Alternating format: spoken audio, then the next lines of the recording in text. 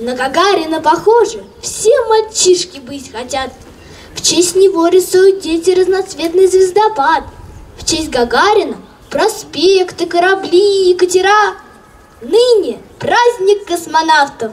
Космонавтике ура! Стихи о космонавтике, песни и торжественная линейка, которая начинается с гимна России. Так в Одинцовской гимназии номер 11 отметили 60-летие первого полета человека в космос. Начало праздника в 9.07. Именно в это время, 12 апреля 1961 года, корабль «Спутник Восток-1», пилотируемый Юрием Гагариным, стартовал с Байконура. Мы горды тем, что наша страна была первая и первая оказалась в космосе. Ну а сегодня вы видите, те, кто хоть немножко слышит и интересуется, что делается в космосе, какие огромные исследования проводится сейчас Международная космическая станция.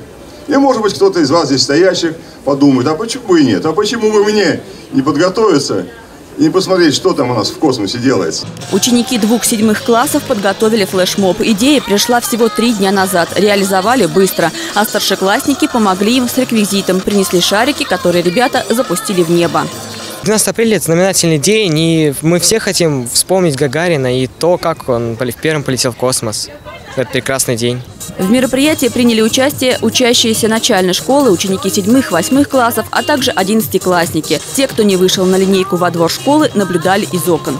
Нам кажется, что наша молодежь далека от этого. Но вы знаете, э, такая активность была, это очень приятно. Мы все сделали от души для того, чтобы отметить эту дату замечательную.